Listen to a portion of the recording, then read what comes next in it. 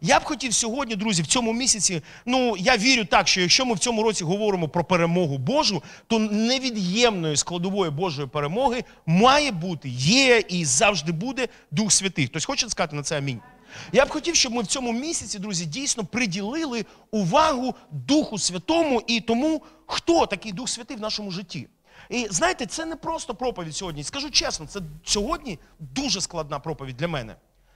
Е, я не просто скажу для мене. Я думаю так, що якщо б була якась людина сьогодні на моєму місці стояла і проповідувала приблизно плюс-мінус цю проповідь, тій людині також було б складно. Чому? Ну, по-перше, тому що коли ти проповідуєш про Духа Святого, тобі треба е, спробувати втиснути Духа Святого в досить обмежену кількість слів. А це вже є неможливим, це по-перше. А по-друге, друзі, знаєте, є таке місце в Біблії. Е, Небагато хто з вас становиться вчителями. Чому? Тому що ви можете, подвер... е, можете, бути, можете стати під більший осуд. І, друзі, це дуже важливо, тому що коли ти проповідуєш, Дух Святий, Він говорить з тобою. Знаєте, е, інколи люди чомусь так вважають, я так ну, вже розумію, що люди вважають, коли пастор проповідує, знаєте, вони бачать, що пастор це немов такий, знаєте, ну, ем, такий суперлюдина, яка проповідує те, що потрібно чути іншим. Я хочу вам сказати, друзі, кожну проповідь насамперед я проповідую для себе. Можливо, ви цього не знаєте або не знаєте, думаєте про це, але не думаєте, або не думаєте, я проповідую кожну проповідь саме для себе.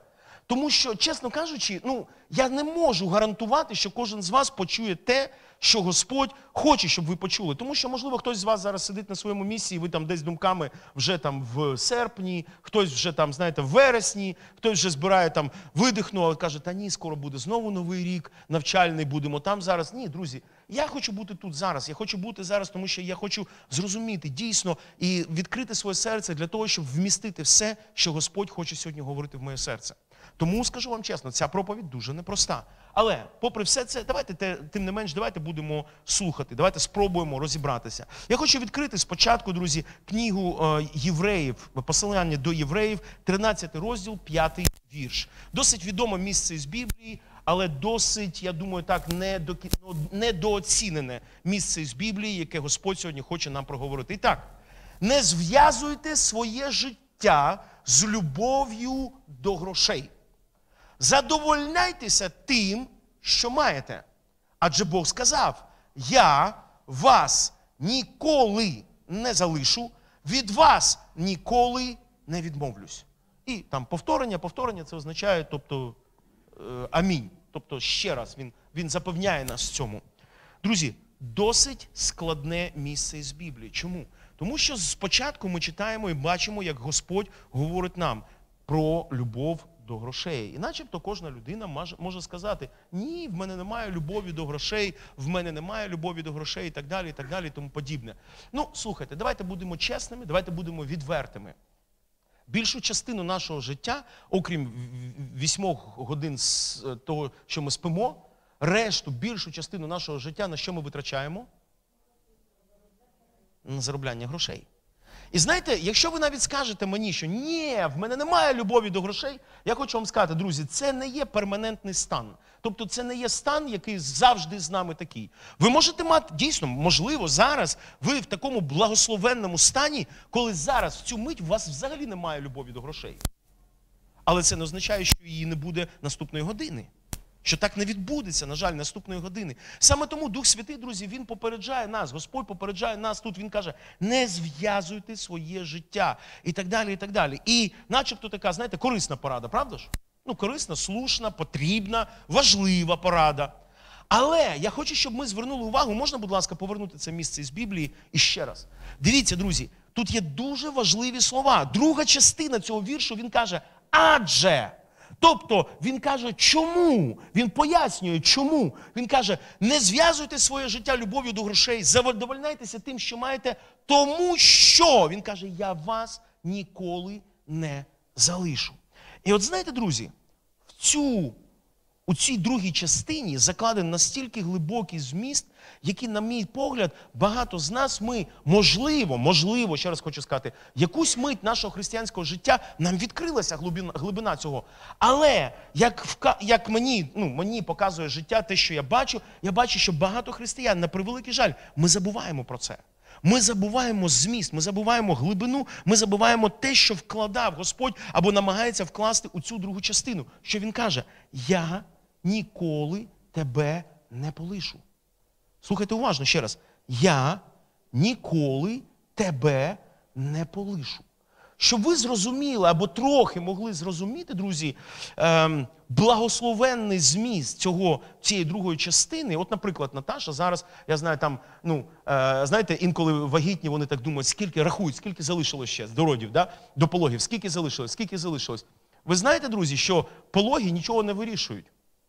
З пологами нічого не закінчується. Коли ти вагітна, ну тобто це так зрозуміло, да? ну це частина твого життя. І це ти нічого не можеш з цим зробити, воно так є. Але коли дівчина народжує, слухайте уважно, щось змінюється. Та частина тебе, вона стає окремою частиною, але тобі треба привчити себе жити тепер для себе і для тієї нової людини 24 на 7. Хтось розуміє це? 24 на 7. Ти не можеш полишити ту людину. Так, друзі, так. Знаєте, хтось каже, о, мама, це саме благословенна. Знаєте, це бачили відео, мабуть, де інтерв'ю, де ти будеш працювати 24 на 7, ти будеш прибирати, ти будеш все робити. І скільки будуть платити? По грошам нічого. Вихідні будуть? Не будуть. А свята будуть? Не буде. Що це за професія? Мама. І знаєте, всі такі, а, там, а, а, всі дивляться сльозу, хтось пускає. Послухайте, друзі, так це ж лише на короткий термін. Ви ж знаєте це? Ну, наприклад, в мене є мама, мені зараз там 48 років. Так, в 24 я пішов від своїх батьків. Ну, точніше, це раніше відбулося, коли я там до училища, ну там військово. Але однієї миті ваші діти підуть від вас. Ви знаєте про це? Так, ви скажете, ні, але все одно 24 на 7, я пам'ятаю про своїх дітей. Друзі, це вже інше взагалі. Дивіться, що тут говорить Господь. Він каже: Я ніколи тебе не залишу. Ніколи. А тепер послухайте уважно. Коли ти радієш, Господь поруч із тобою. Коли ти злишся, він поруч із тобою. Коли ти роздратований, він поруч із тобою. Коли ти робиш те, що ти, ніхо, що ти хочеш, щоб ніхто не бачив, ніхто не знав. Знаєш, хто поруч із тобою в ту мить? Він поруч із тобою. Слухайте, він поруч із нами. Після цього вірша він поруч із нами 24 на 7. І когось це е, підбадьорює, а когось це інколи засмучує. Друзі. А якщо нас це не засмучує, то нас має це ну, про щось говорити. Що я сьогодні хочу говорити? Тема сьогоднішньої проповіді звучить наступним чином. Тема сьогоднішньої проповіді фантастична четвірка. Хто дивився, хто ну, знайомий з е, концепцією Марвел, то знає, що таке фантастична четвірка. Це одна там назва з фільмів. Я не знаю, чому, друзі, колись я з дитиною, з старшим нашим сином дивився цей фільм. І знаєте, коли я готувався до цієї проповіді, просто одразу бах і так все, от, ну просто воно прийшло. Чому? Ну, ну насамперед, мабуть, що е, цей фільм він про те, що як чотири окремі людини мали стати однією командою для того, щоб дійсно здійснювати те, що там потрібно було для того, щоб рятувати світ і так далі, і так далі, тому майбутнє. Так от, друзі, місяць Духа Святого, тобто, коли ми говоримо про Дух Святий, це е, червень, це місяць, коли ми святкуємо зашестя Духа Святого, коли ми святкуємо прояв Духа Святого, коли ми святкуємо трі трійцю, правда? Свята трійця. Знаєте, трійця дуже складне поняття, його дуже складно пояснювати людям, але це не важливо. Ми сьогодні трохи затронемо це. Так от, друзі, місяць Духа Святого це свята трійця. Хтось, ну, я думаю, в когось виникає доволі слушне питання. А до чого тут фантастична четвірка? Четвертий це хто, Бодя? Я. Друзі, четвертий в цій святій трійці це ти. І хочу вам сказати, друзі, але це не відбувається само по собі. Це відбувається лише тоді, коли в тебе є глибинне усвідомлення того, хто або чим дійсно є свята Трійця. В ту саму мить, коли ти усвідомлюєш, коли ти приймаєш, коли ти починаєш жити разом із Святою Трійцею, одномоментно, тобто миттєво, миттєво ти долучаєшся до цієї трійці, і це стає фантастична четвірка. Це те, що ми бачимо, друзі. Це те, що ми маємо побачити. Це те, як має оперувати своїм життям кожен народжений згори християнин. Так от, друзі, свята Трійця плюс ти, я написав собі так, це фантастична Божа четвірка.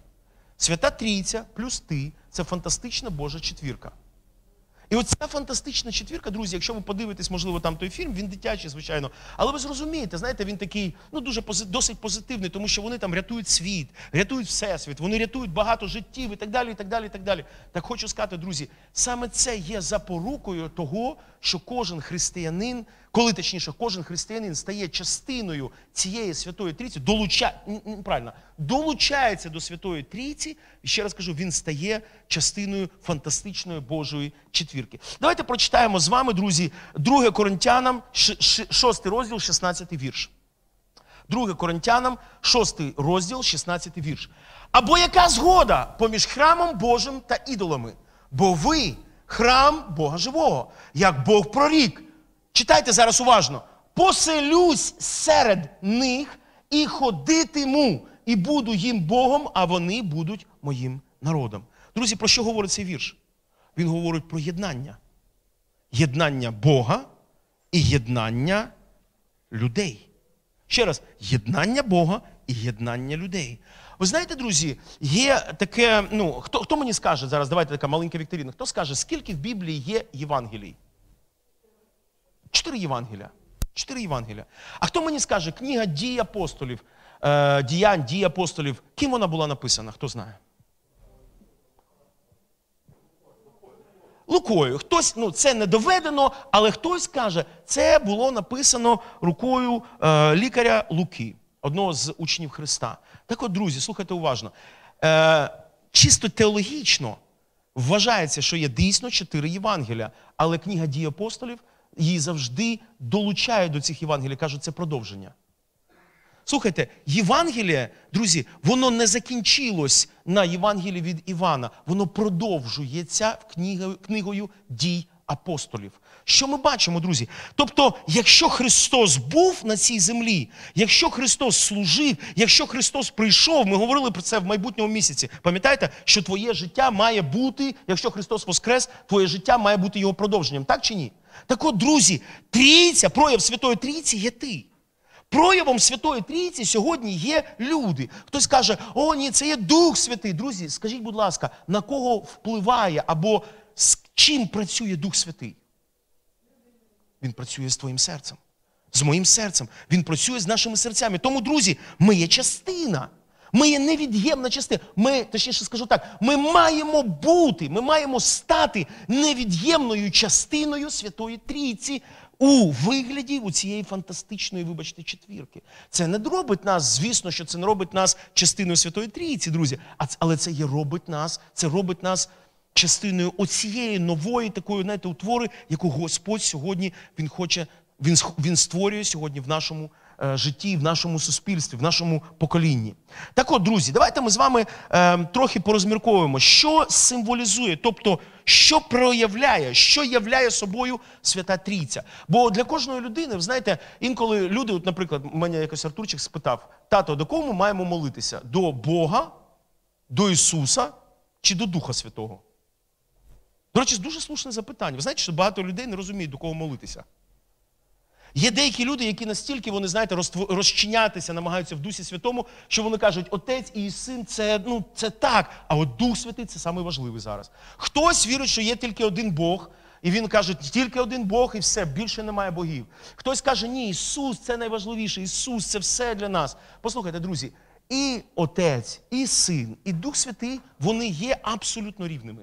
Абсолютно рівною. Просто в них, кожен з них, вони виконують іншу функцію. Тобто вони є єдині. Хтось каже, ні, я цього не розумію. Як це може бути? Три різних, але при цьому вони одні, вони єдині. Як це може бути? Послухайте, для нас це неможливо. Хто пам'ятає, як називалась проповідь пастора Євгенія Новосільна минулої, минулої суботи? Хто пам'ятає? Єдність це важливо. І ви знаєте, я думаю, що кожен з нас, ми після цієї проповіді ми щось зрозуміли, правда? У мене для вас дуже невтішна новина, друзі. Ви нічого не зрозуміли. Тому що якби ж ми зрозуміли, ми б працювали як єдиний організм. Розумієте це? Ми були б єдині. Дійсно, якщо б ми розуміли поняття єдності, якщо б ми мали глибинне усвідомлення єдності, о, друзі, не було б сварок. Не було б заздрості, нічого цього не було взагалі. Не було якихось, знаєте, ну, протиріч і так далі. Ми були б єдиними.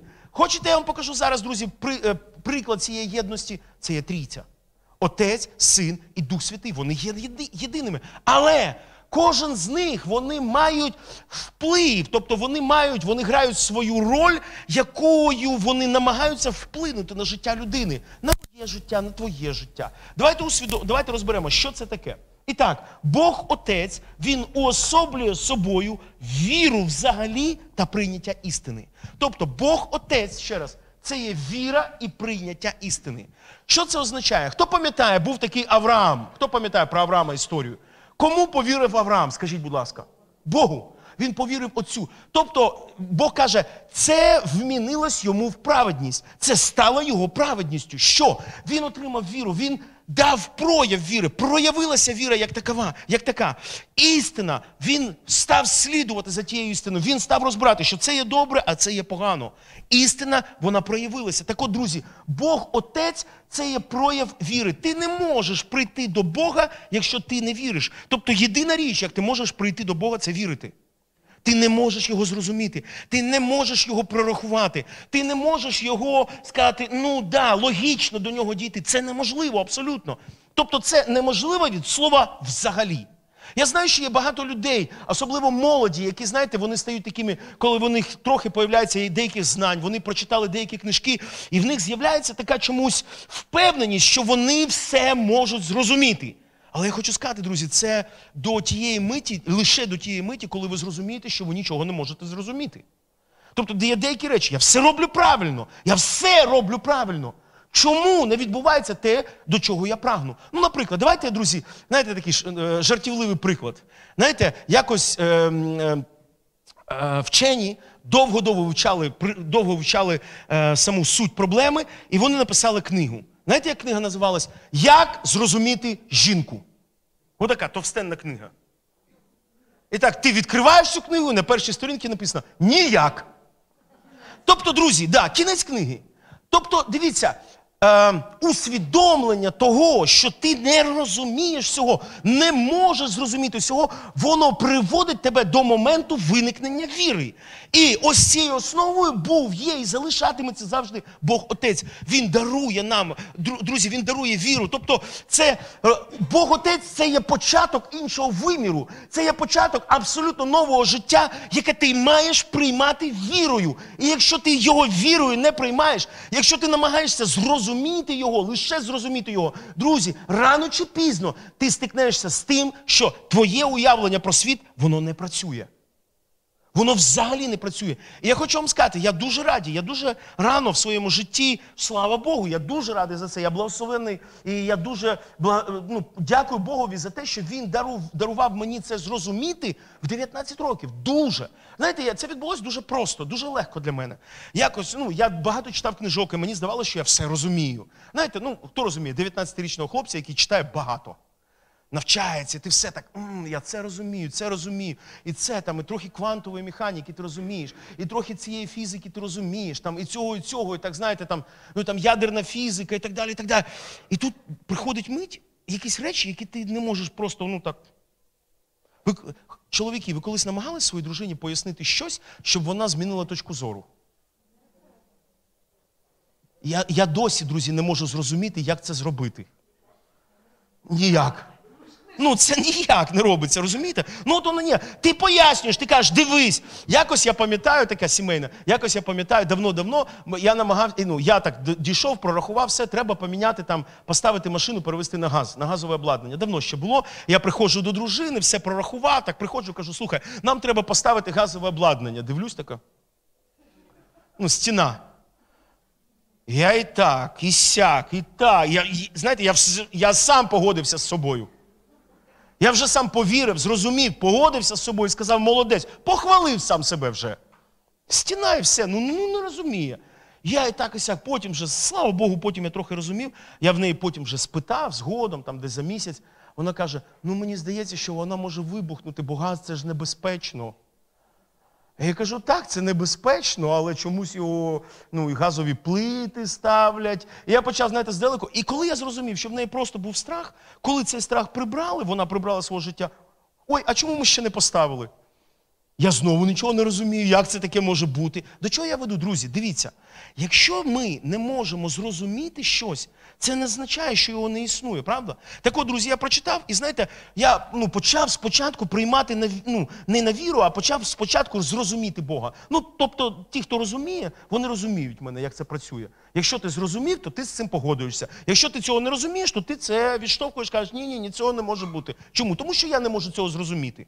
І отак я прийшов до Бога. І знаєте, якось, слава Богу, я начав, я навіть почав молитися. Не розуміючи Бога, я, ну, не вірячи в нього, я почав молитися. І слава Богу, за Духа Святого, до речі, це є прояв Духа Святого. Він дарує нам оцю, знаєте, от керівництво, Боже керівництво. Потім поговоримо. І слава Богу, за Духа Святого, він, знаєте, так дуже-дуже тоненько спитав мене просту річ. Чи можу я запам'ятати всіх людей на землі їхні імена? Є хтось такий, хто може з вас запам'ятати всі імена взагалі? Всіх майже 8 мільярдів. Ні? А ви знаєте їхні прізвища? Як звали їхніх батьків? Коли вони народилися? Про що вони думали у 3 роки, у 8 років, в 19 років? Ви знаєте це? Я такий став, Господи, це неможливо зрозуміти. Всі одинички та нулики, всі інформація не може бути записано. І я читаю Біблію, а там написано, Господь знає все. Він знає навіть в нього, в нього злічений навіть кожен волос на твоїй голові. Ви знаєте про це? Господь все це знає. І Дух Святий мені так каже, як ти своїм дуже обмеженим мозком намагаєшся зрозуміти те, того точніше, Хто знає набагато більше тебе, це неможливо. І знаєте, я повірив, друзі. І оце була моя віра, це був початок моєї віри. Так от, друзі, Бог Отець це є той, хто дарує початок віри. Далі, Бог Син, це Христос, це прийняття вірою жертви, прощення та господства. Ви знаєте, друзі, що відбувається? Що має відбутися із життям кожної людини, яка приймає Ісуса Христа своїм Господом і Спасителем? Друзі, ми маємо прийняти найперше для того, щоб прийняти Христа, перше, ми маємо прийняти, що ми є грішними. Ви знаєте, є багато людей, які роками, я б навіть сказав, десятиріччями, вони ходять до церкви, і в них не відбувається найголовнішої речі народження згори. Чому? Друзі? Тому що вони не бачать себе е, в проблемі, в них немає проблем. Хтось каже, пастор, а чому тоді в церквах так так багато людей, наркоманів колишніх, алкоголіків колишніх, в'язнів колишніх. Друзі, тому що багато з цих людей, послухайте, завдяки, завдячуючи, не через, послухайте, не через, а завдячуючи, завдячуючи цьому поганому образу їхнього життя, вони дійшли до миті, коли вони зрозуміли, що в них проблема. Багато людей, які живуть нормальним в лапках, нормальним життям. В мене нормальна сім'я, в мене нормальні діти. Я начебто живу не, не, не гірше, аніж усі. Я начебто ну, намагаюсь не обманювати. Я начебто намагаюсь жити непоганим життям. Є такі люди непогані тут? Мені вас жаль.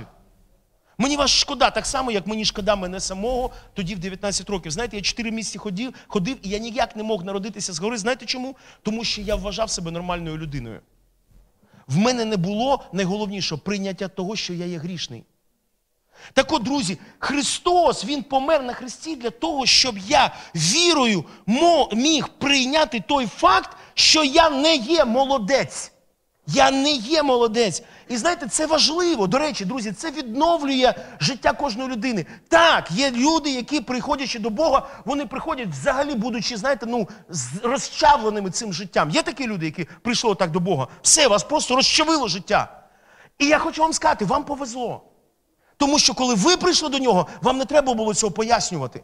Мені до цього Дуже довго, майже 4 місяці дійшов, я доходив до цього питання, коли я, ну чому в них так, а в мене не так? Ну чому вони чують Бога, а я його не чую? Ну чому вони радіють від прославлення, а я взагалі нічого не відчуваю? Взагалі нічого не відбувається з моїм серцем, друзі. Тому що найголовніше, перше, ти маєш зрозуміти, що ти є грішний. Друге, ти маєш зрозуміти, що хтось за тебе помер. Хтось, хто любить тебе дуже сильно.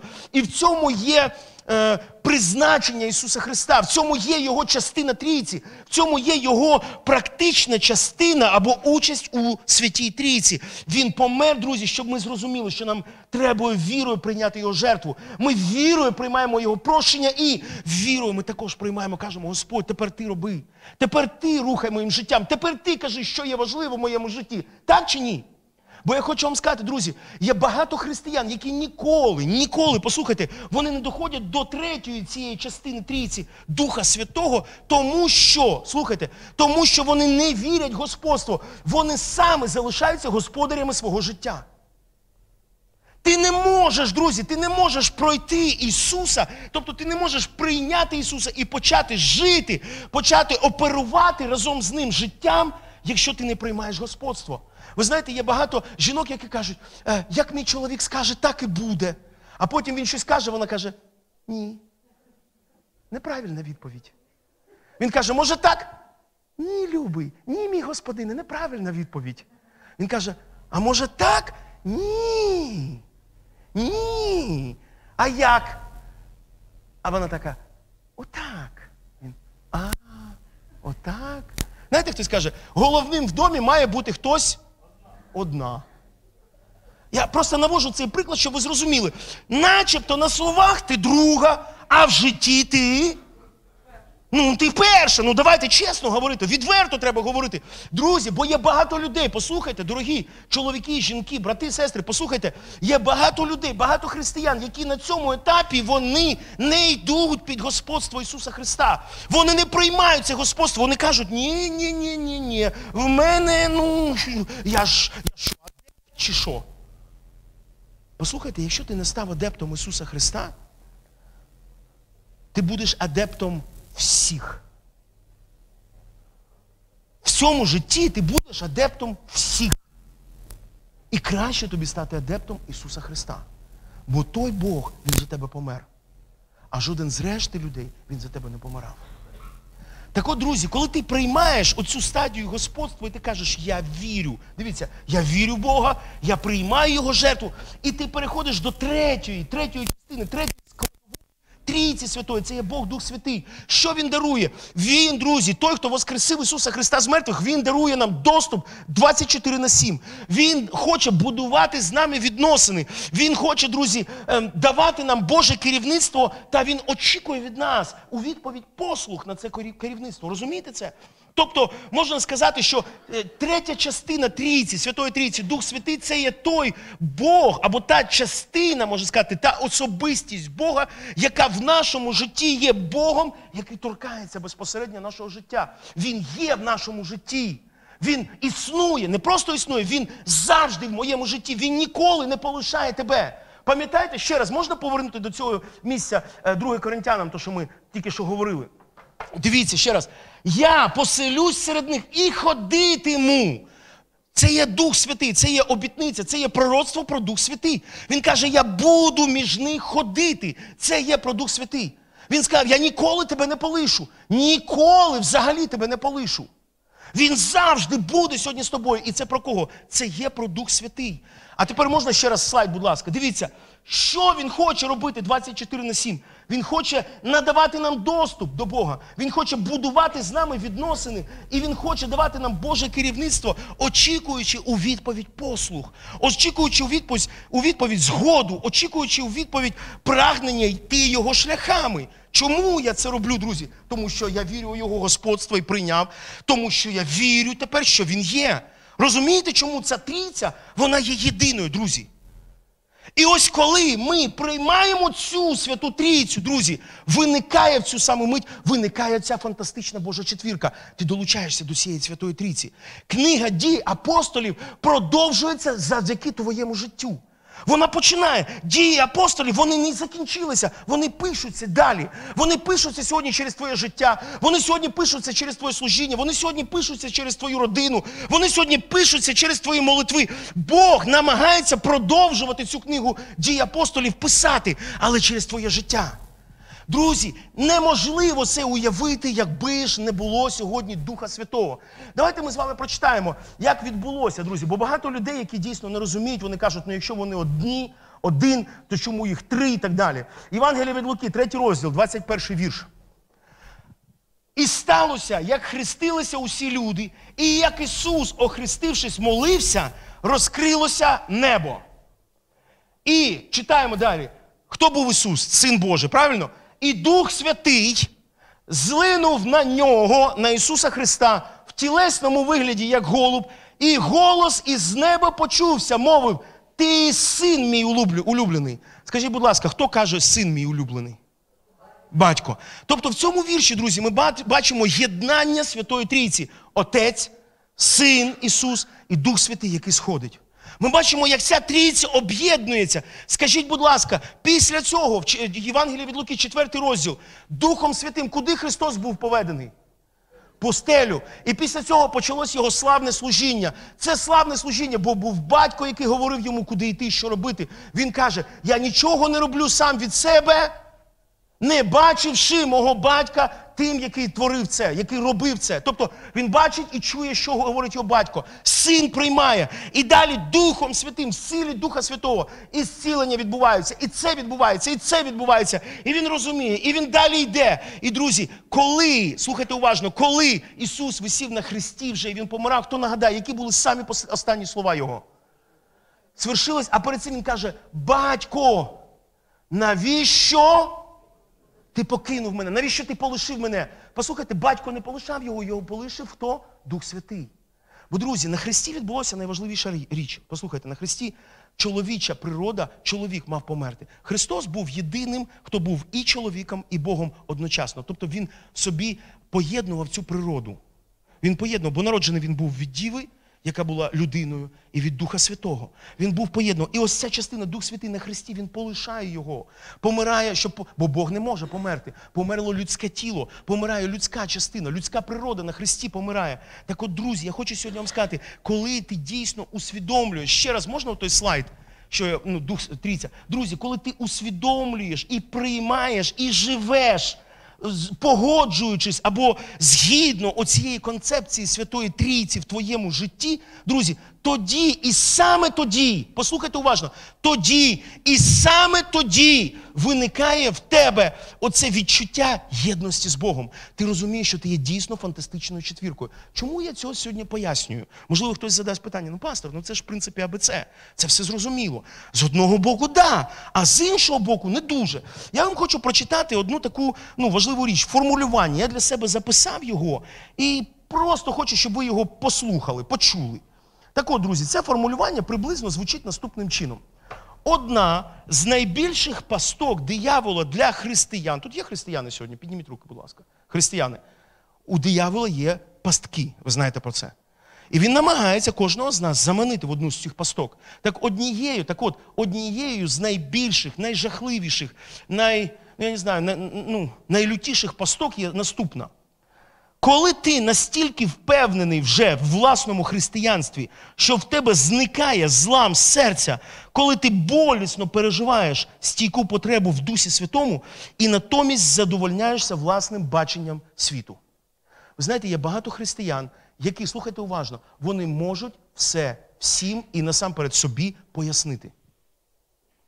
Ви не розумієте цього можливо, але кожен з християн, як людина, послухайте уважно ще раз, як людина, ми намагаємось прийти до тієї благословенної миті. Хто пам'ятає, коли ви тільки покаялись? О, ці люди читають Біблію, а я ніколи ще її не читав. І в нас є оце перше, пам'ятаєте? Перше прагнення. Я хочу прочитати всю Біблію. І потім ти її прочитав, і ти такий. А потім ти її читаєш другий раз, а потім читаєш третій, а потім четвертий, а потім п'ятий. І ти приходиш до тієї миті, коли тобі все зрозуміло. Коли ти можеш це пояснити, і це тобі зрозуміло, і це зрозуміло, і це зрозуміло, і це зрозуміло. Але слухайте уважно, ти втрачаєш в ту мить, ти втрачаєш найголовнішу рису, найголовніше найголовнішу якість християнського життя. В тебе немає зламу, коли ти потребуєш Духа Святого, коли ти не бачиш себе чогось досягнувшим. Ти не бачиш себе. Я вам наведу приклад. Ви знаєте, якось ми з дружиною, ми е, частину нашого життя, 4 роки ми провели в Америці, будували церкву. І там, ну, там є багато людей, які емігрували, бо і багато з них вони емігрували за релігійними переконаннями. Ну, так звані там більш традиційні церкви, п'ятидесятники і так далі. І був один дуже поважного віку, така людина, йому вже було, якщо не помиляюсь, десь 80 років, мабуть, да? ну, десь близько, плюс-мінус, біля 70-80 років. І знаєте, якось ми прийшли в гості до однієї сім'ї, це був їх батько, і він приходить, так знаєте, до мене і брат, привітай мене. Ну, думаю, з чим можу привітати людину? Ну, мені не складно. Ну, і так, знаєте, мовчання, і він продовжує. Привітай мене. Я вчора в сотий раз перечитав Біблію. І, ну, чесно кажучи, ну мені дуже хотілося його привітати. Але в мене була така, знаєте, внутрішня боротьба. Чому? Тому що я знаю його життя. А в його житті він не живе, він, знаєте, кішка з собакою, живе із своєю дружиною. Я не знаю, чи вони були розлучені вже чи ні. Вже були розлучені, тому що він її гамселив, будучи християнином, неначе я не знаю кого. Він її так лупашив.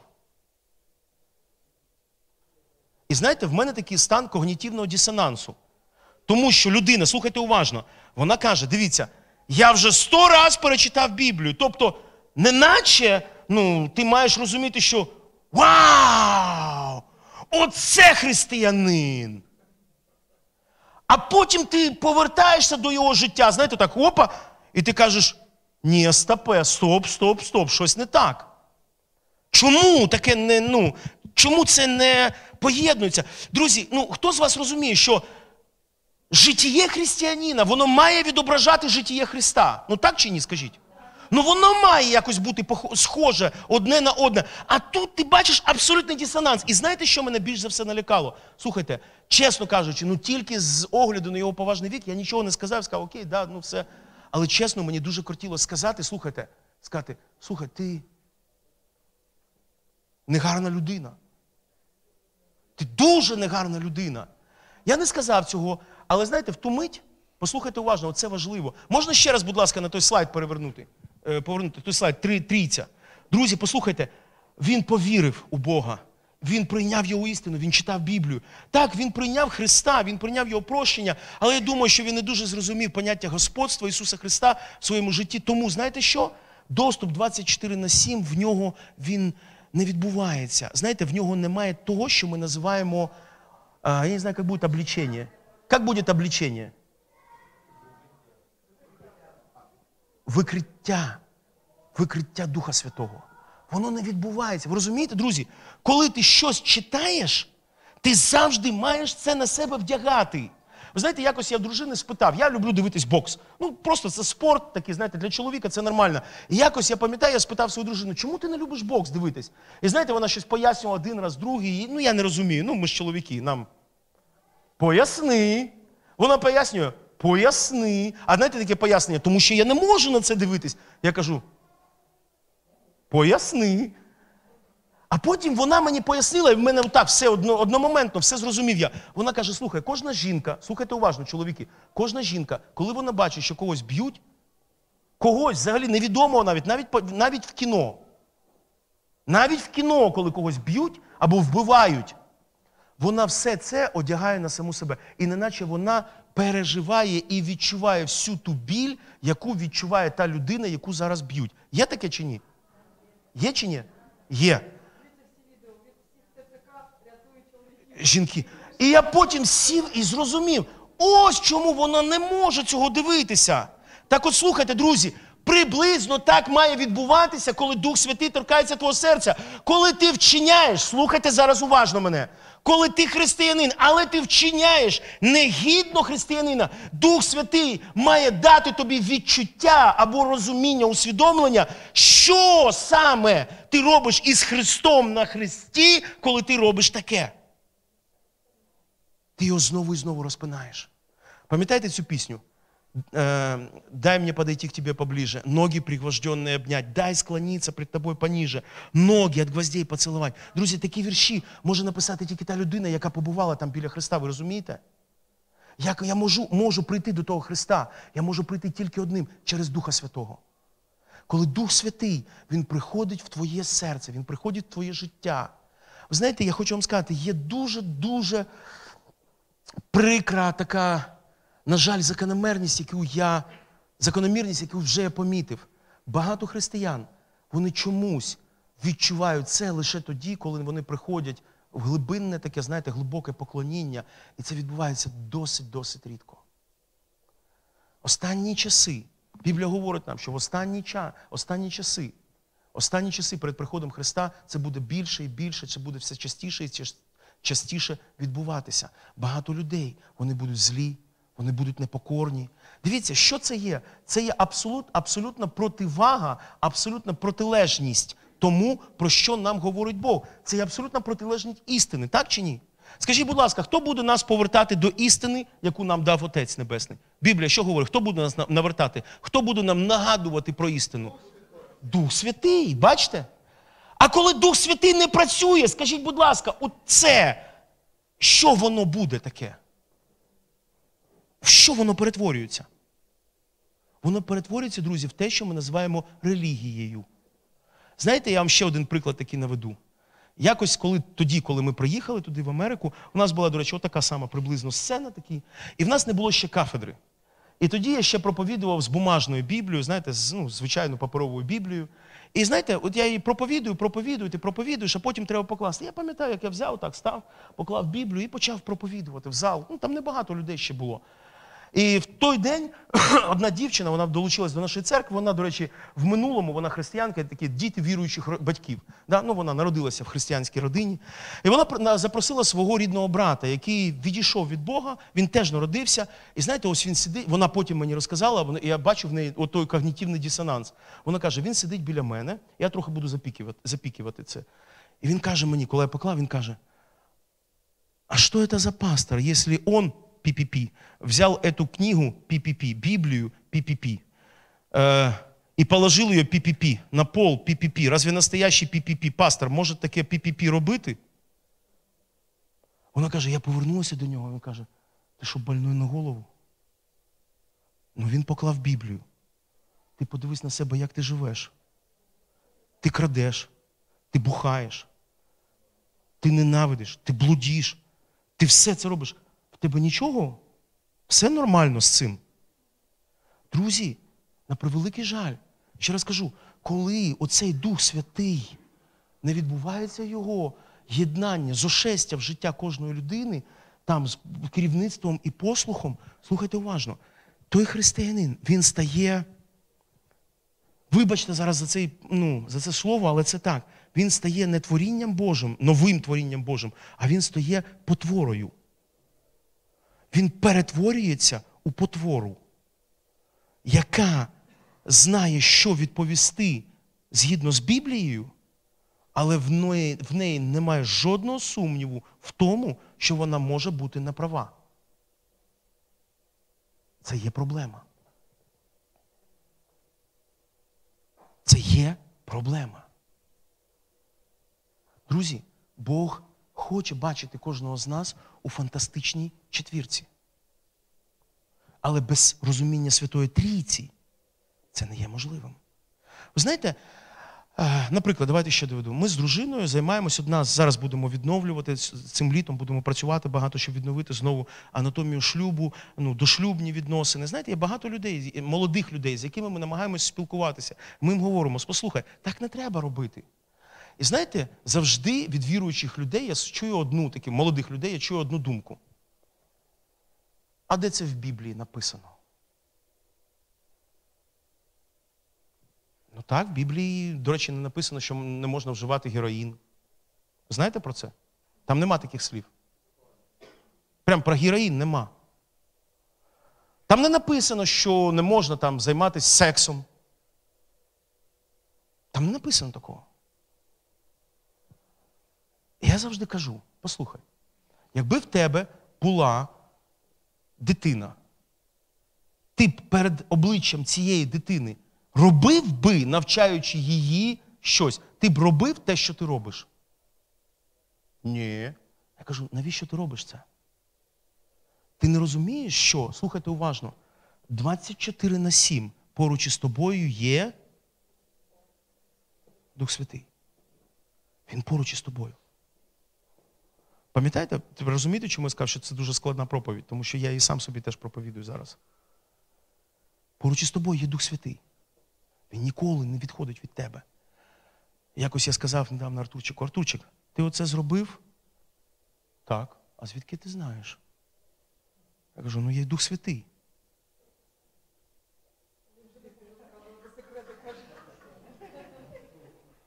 Ви розумієте, в нього колапс відбувся схема рухнула. А, а він каже: так секрети ж не можна виказувати. Я кажу, оці секрети можна, батькам можна. А він такий.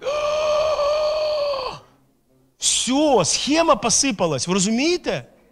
Я приходжу до нього, кажу, сину, ти грав у комп'ютер, ти зараз грав на телефоні ігри. Ні, ні, ні. Ну, я беру телефон, знаєте, що треба натиснув. Кажу, дивись, грав. Звідки ти знаєш?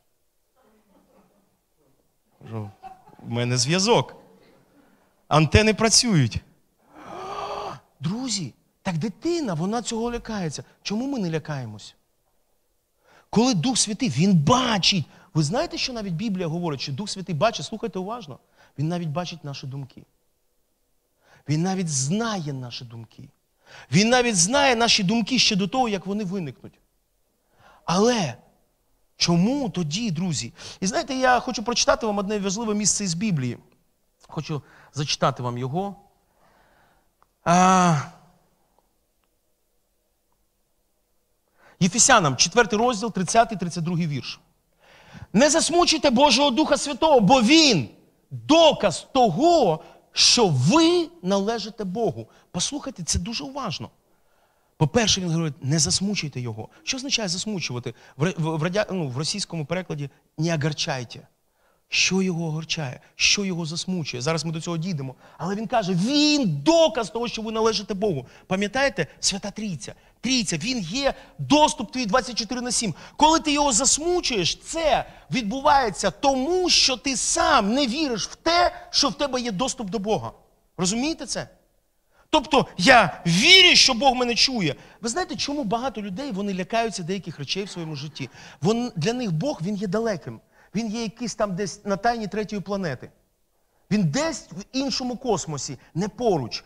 Але Біблія говорить, що він не просто поруч, він каже, я вселюсь в тебе. Він ближче до нас, ніж, аніж е, наша власна шкіра. Він ближче до нас, аніж наша власна нервова система. Він ближче до нас, аніж наші кістки. Розумієте про це? Він ближчий, аніж кістковий мозок, який, наповнює наші кістки. Ви розумієте це? Він ближче до нас, він завжди поруч, він ніколи не полишає. І ось тому це є доказ. Є доказ. Пам'ятаєте, як зрозуміти, що ти народжений згори? Дух Святий свідчить нам. Він свідчить мені. А якщо в тебе немає спілкування з Духом Святим, якщо ти його засмучуєш щоденно, якщо ти його відштовхуєш від себе 24 на 7, що ти будеш мати? Невпевненість, страх. Ти будеш лякатися всього. Розумієте, друзі? Ось чому. Тому що ми відштовхуємо. Він 24 на 7 з нами. Але ми, на жаль, можливо, не 24, але 23 з половиною на 7 інколи його відштовхуємо чомусь.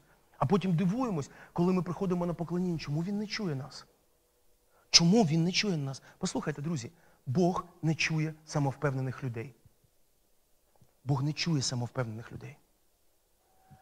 Він раз за разом приводитиме таку людину до такого стану в своєму житті, щоб ця людина зрозуміла, що він дуже самовпевнений.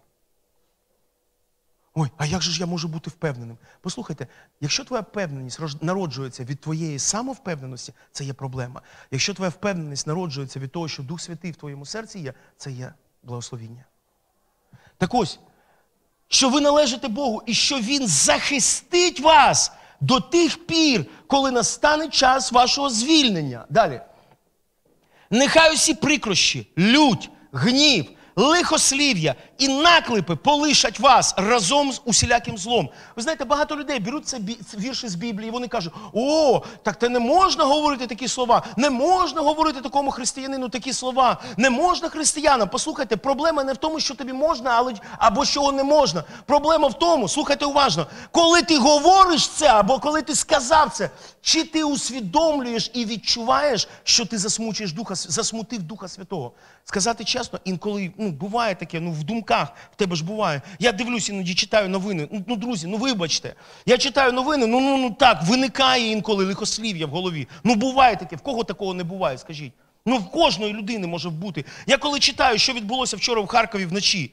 П'ять, ну, під'їзд п'ятиповерхового ну, будинку, немає його. Я читаю, що відбулося е, Балаклії, Балаклії, 8 і 12 років діти. Отак, хто бачив це відео, де дитинка от це їсть йогурт? Бачили відео в Фейсбуці? Дитинка намагається їсти йогурт після, після нічної ракетної атаки. Я дружині показав, я дивлюся на біле обличчя. Дитинка сидить, вона тримає йогурт і тримає ложечку. В неї отак от все труситься. І вона їсть, і мама говорить, їж, їж. Вона їсти хоче, але оце все відбувається. Це все відбувається на психіці цієї дитини. дитини. Скажіть, після цього у вас не вибуває лихослів'я в голові? В мене є. Ну, буває. Але послухайте, наступне, що виникає після цього лихослів'я, я одразу починаю засмучуватись, бо я розумію, що я засмучую того, хто 24 на 7 зі мною. Ви розумієте це? І коли в тебе після лихослів'я, після цього пустослів'я, після цього поржав над один над іншим.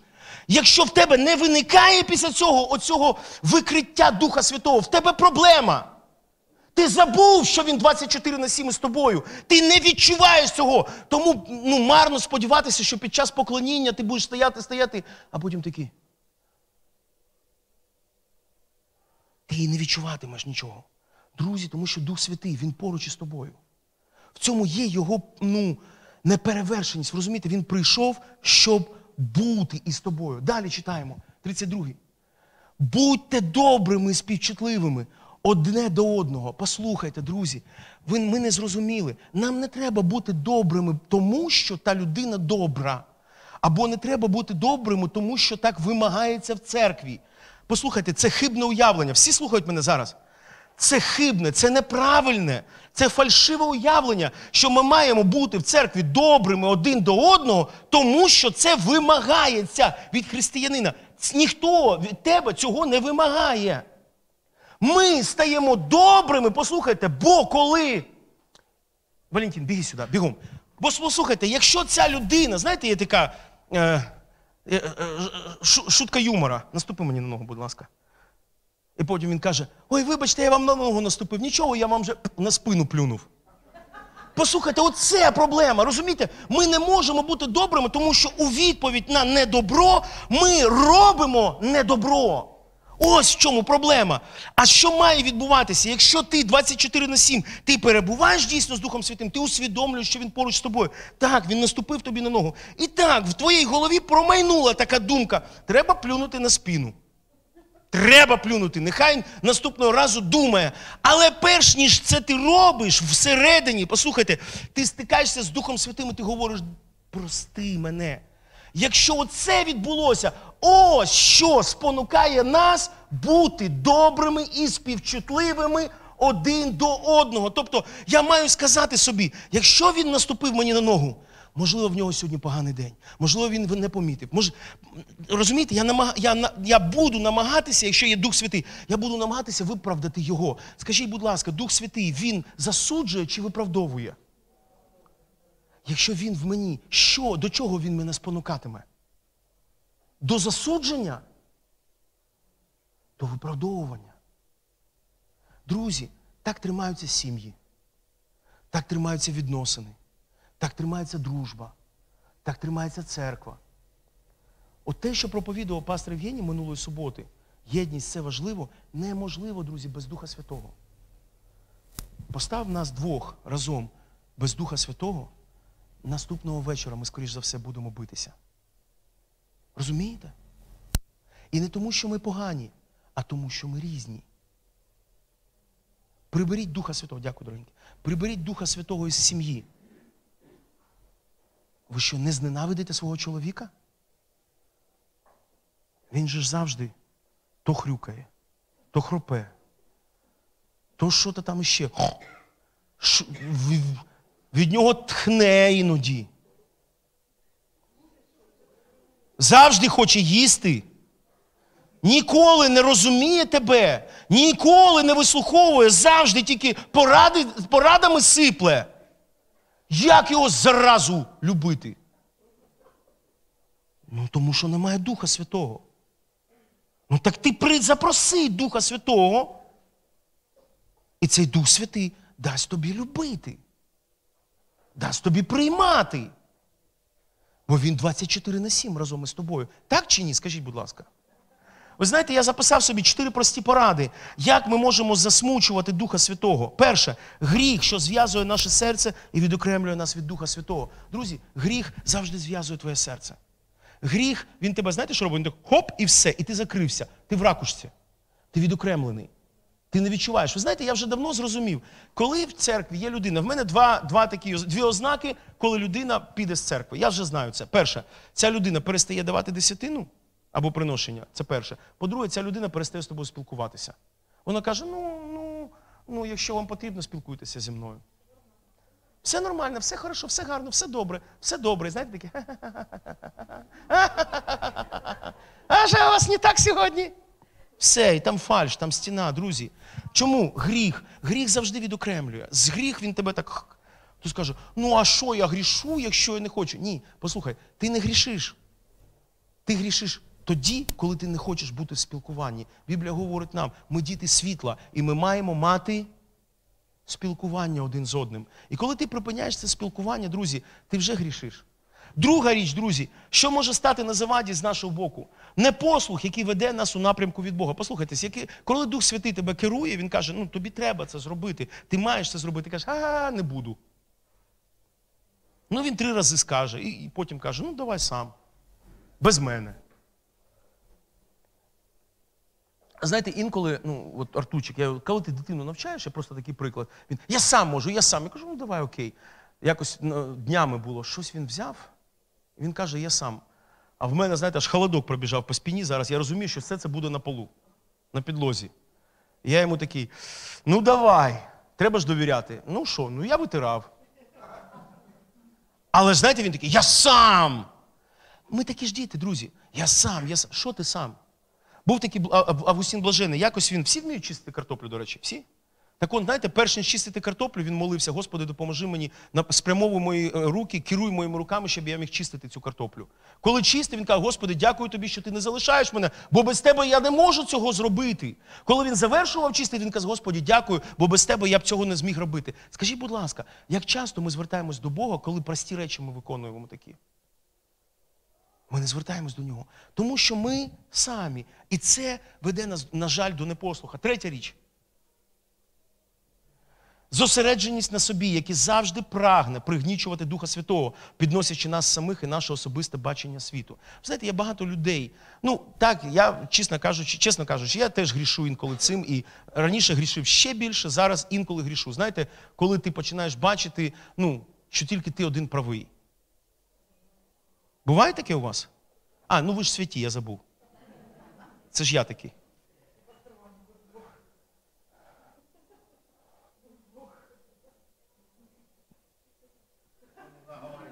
Ага. Нехай наговарює. Головне, щоб Дух Святий нас облічав, викривав. викривав. Послухайте, друзі. Да, коли ти, Слухайте, коли ти дуже зосереджений на собі самому, в цю мить тобі довести щось неможливо. Розумієте це? Стіна.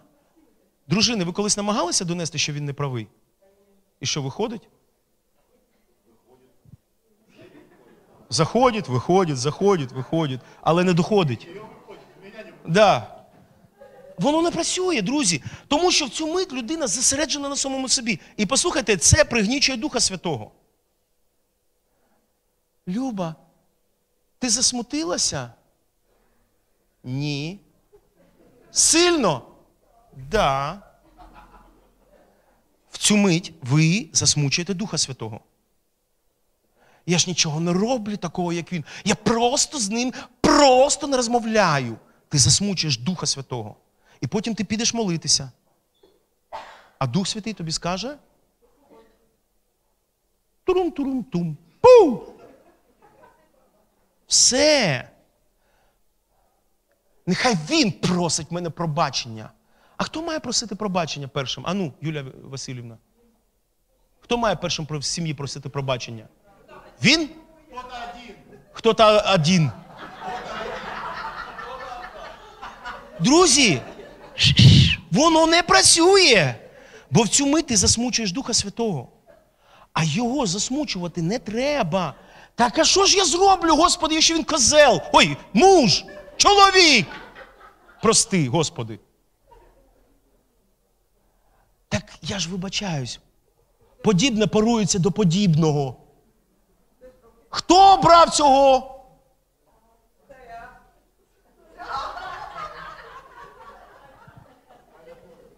Четверта.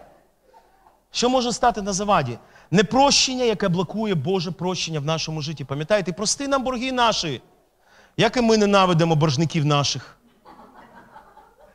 Навіщо ви з собою це таскаєте? Навіщо воно вам треба? А потім Дух Святий, Дух Святий. Знаєте, мені оце. А знаєте, як зі мною поступив тато в дитинстві? А скільки ж тобі років, дівчинка? 59. А де ж твій татко? Так він вже давно помер. А тобі не здається дивним, що останні 40 років ти все це носиш собі.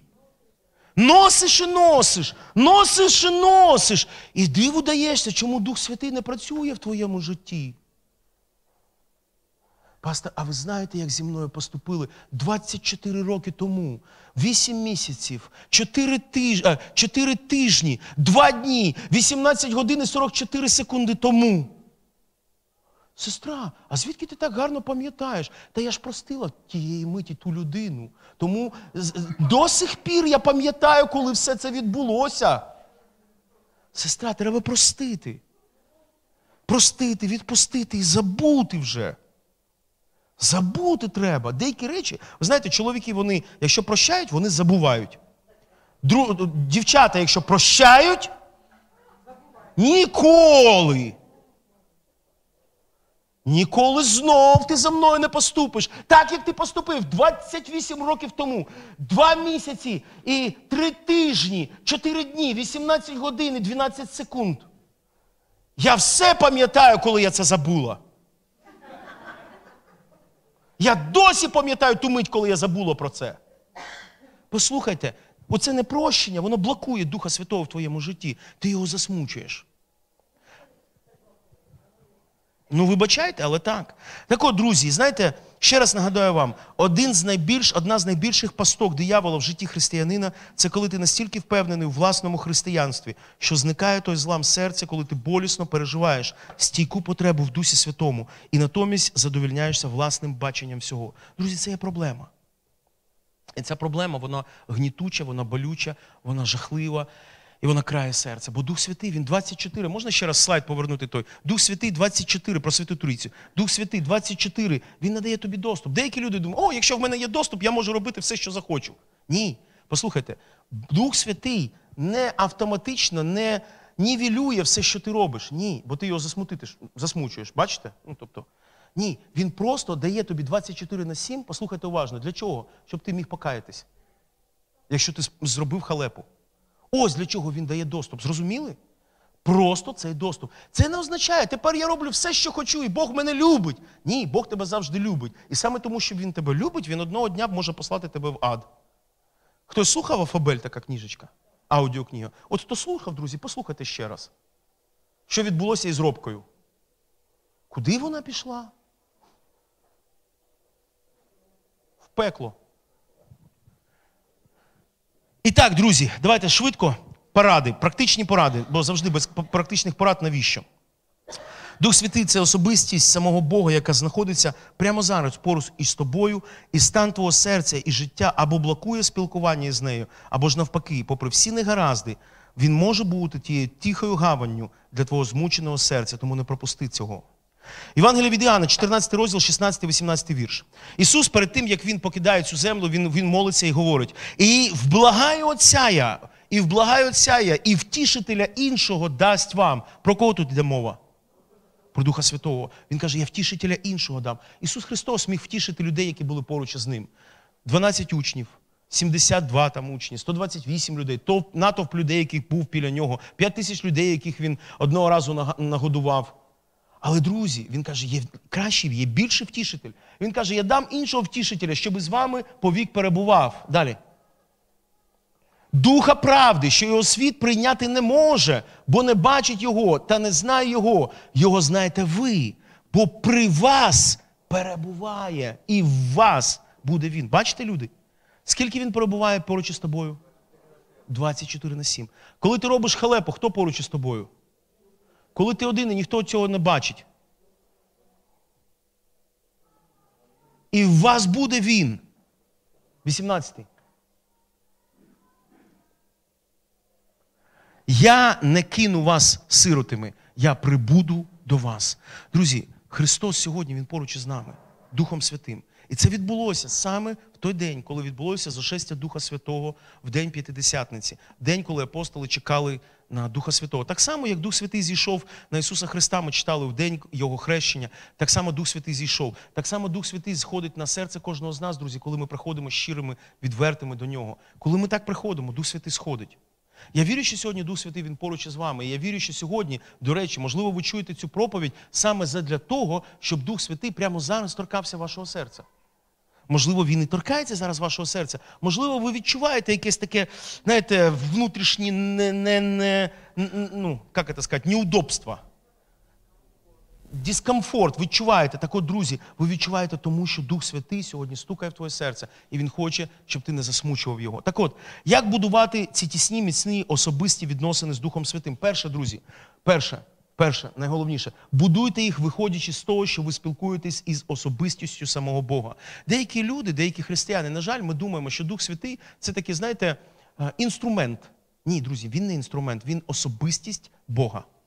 Він третя особистість Бога. Він частина, невід'ємна частина Святої Трійці. Амінь. І він сьогодні поруч із тобою. Тому, коли ти звертаєшся до Духа Святого, знаєте, є такі: е, папа, ще налей, папа, давай єлей. Він трохи, вибачайте, не офіціант. Він не на побігеньках. Він особистість Духа Святого. Він, о, точніше, особистість Бога. І коли ти приходиш до нього, інколи треба стати навколішки. Тому що він особистість Бога. Можливо, так більше доходить. Наступне, як будувати ці тісні відносини?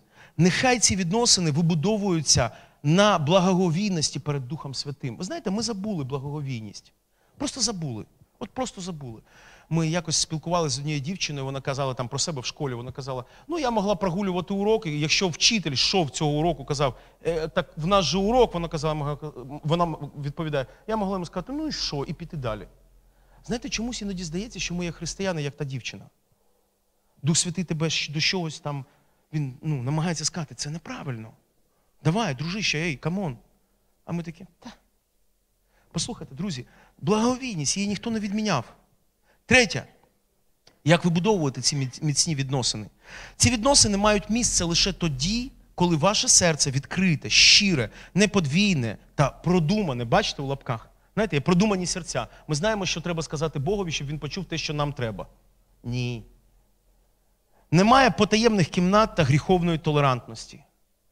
Знаєте, якось в мене син старший, я пам'ятаю, він зростав, Ілюшка, він мене спитав, тато, е, чому християни ненавидять гомосексуалістів? Я кажу, а чому ти вважаєш, що ми їх ненавидимо? Він каже, ну вони проти них. Я кажу, ні. Я взагалі-то вважаю, що це нормальні люди, яким просто потрібний Бог, як будь-якому, як е, ну, алкоголікам, наркоманам. Їм потрібен Бог і все. Я ненавиджу гомосексуалізм як явлення. Так. Скажіть, будь ласка, хтось з вас карав колись своїх дітей? Ви що, їх не любите? Ви не любите ту погану річ, яку вони роблять, так? А їх ви любите. Так само, друзі, послухайте, ми, мож, ми не можемо приходити до Бога, коли, знаєте, в нас таке подвійне серце. Господи, я люблю і тих, і інших. Ні, послухайте, Господь каже, ти маєш розподіляти цей світ на чорне та біле. Ну так треба робити. Розумієте? Друзі, ми не можемо бути за всіма гарними. Знаєте, ми, я, заміт, я помітив, в християнстві є багато толерантних людей. Вибачте вже, ну зараз я буду закінчувати. Є багато толерантних людей. Знаєте, хто такі, я їх називаю? Хто такі толерантні люди? Це люди, які вони люблять всіх. Знаєте, такі люблять всіх. Хто стикався з такими християнами? Вони всіх люблять. Але до тієї миті, поки ця людина не зробить щось погане в їхньому житті. Потім вони кажуть, ви всі маєте їх ненавидіти. Я так не роблю. Знаєте, як я роблю? Якщо я з людиною спілкуюсь, щиро відверто, і людина щиро відверта, я з нею щиро відверто спілкуюсь. Якщо людина, вибачте, за спиною твоєю робить пакості, знаєте, що роблю? Я кажу: окей, це твої проблеми. Я тебе люблю, але і спілкуватись не бачу сенсу. Але ці люди, вони толерантні, вони ні, ми маємо спілкуватися зі всіма. Він як вкраде в тебе тисячу баксів, ти одразу припиниш спілкуватися з цією людиною. 100 гривень вкраде. Просто почекаємо трохи. Друзі, ну забудьте про толерантність. Ще раз кажу, забудьте, любити ми маємо всіх людей, але ти ж маєш мати розум. І цей розум, до речі, Дух Святий веде тобі. Хто пам'ятає, Дух Святий, е, пам'ятаєте апостол Павло, він мав на серці якось піти там в Македонію, здається. О, не в Македонію, кудись він хотів піти.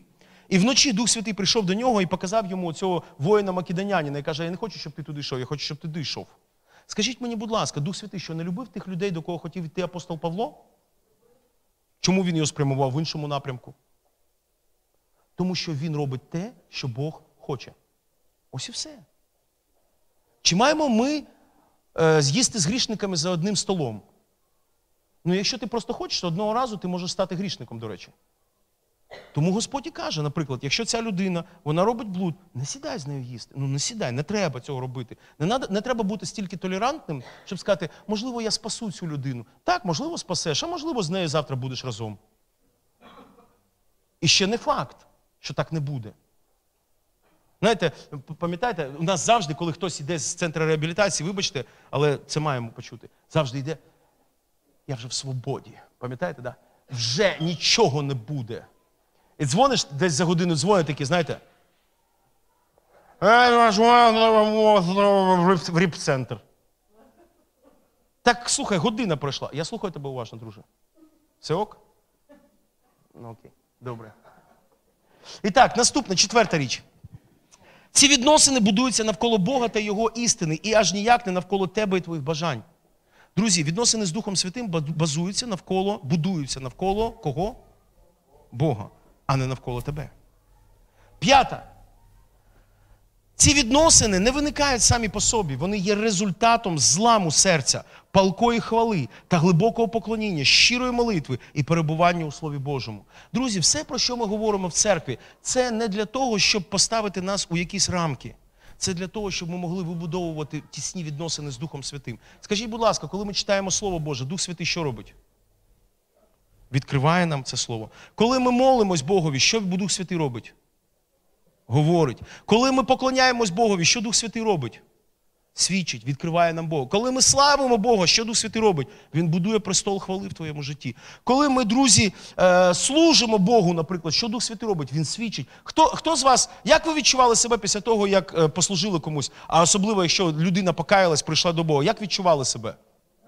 Радісно, знаєте, хто це робить? Дух Святий, який торкається твого серця.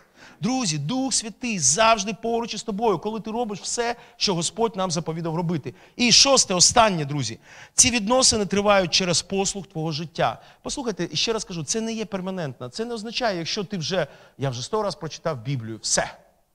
Я тепер можу робити все, що завгодно. В мене є індульгенція. Немає, ти не купиш індульгенцію, друзі, воно так не працює.